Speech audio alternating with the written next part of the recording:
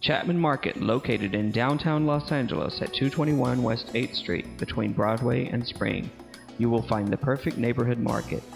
Chapman Market is open seven days a week and carries all your essential grocery goods. Chapman Market has sweet and salty snacks, cold, refreshing beverages, including iced teas. Chapman Market provides fast, friendly service and free local delivery. Chapman Market has a wide variety of cigarettes and both national and imported beers. Or grab a bottle of wine, whether it be Merlot, Blush, or Chardonnay. And don't forget the chips or nuts or delicious seeds.